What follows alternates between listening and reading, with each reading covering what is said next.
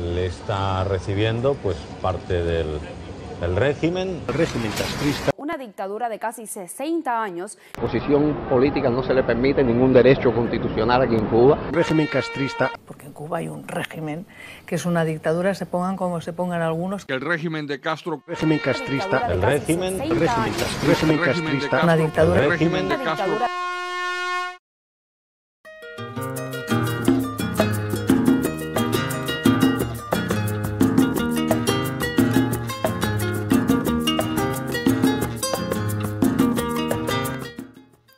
Para quienes solo escuchen la propaganda de los grandes medios, podrá resultar sorprendente descubrir que este mes de noviembre hay elecciones generales en Cuba.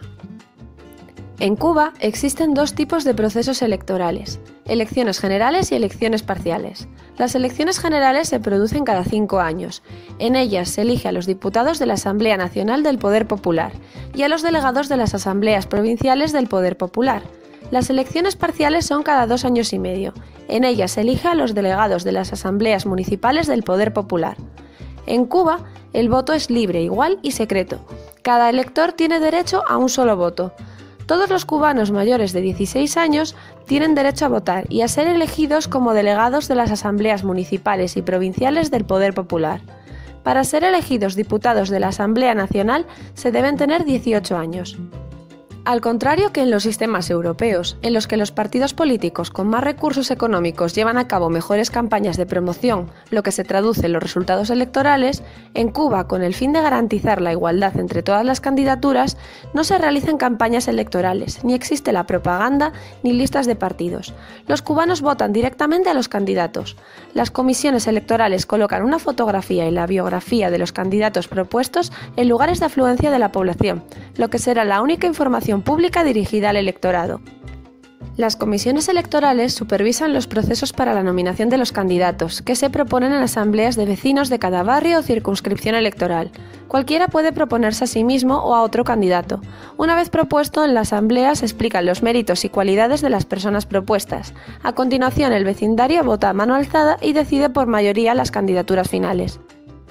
Así se elige a los delegados a las asambleas municipales del Poder Popular.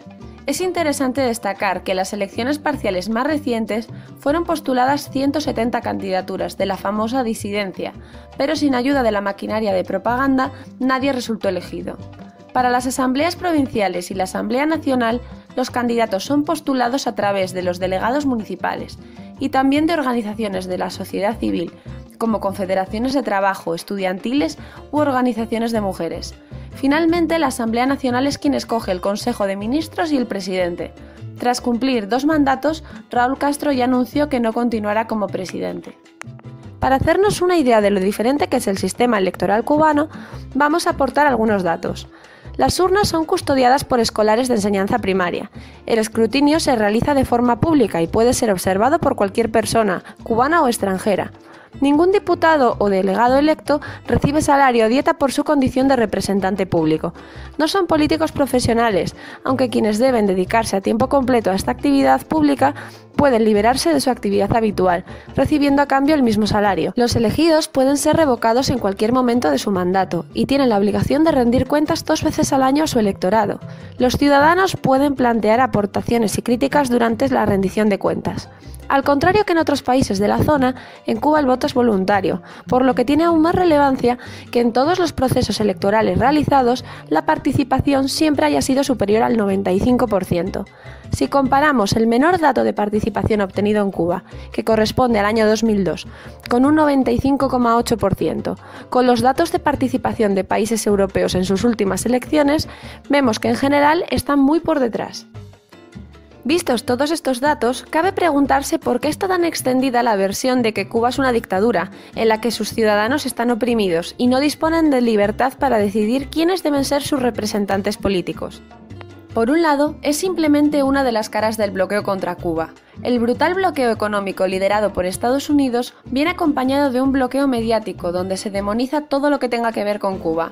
Por otro, el hecho es que el sistema político cubano representa una democracia popular donde los electores están cercanos a sus representantes, y esto constituye por sí mismo una alternativa a las llamadas democracias liberales o pluripartidistas. Bajo la ilusión de la libertad de elección, la verdad es que en el capitalismo el sistema resulta totalmente tergiversado. Las clases dominantes utilizan su control sobre los medios y las millonarias contribuciones hacia los partidos políticos para salvaguardar sus intereses.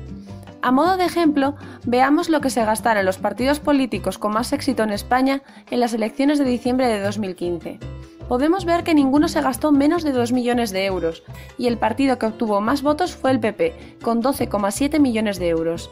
Ante esto nos cabe preguntar, ¿quién paga esta promoción? ¿Qué intereses van a ser defendidos por los gobernantes elegidos? Preguntas obvias con respuestas obvias. Pero mientras los medios sigan con su propaganda, el pueblo cubano seguirá, con su voto, decidiendo libremente su camino.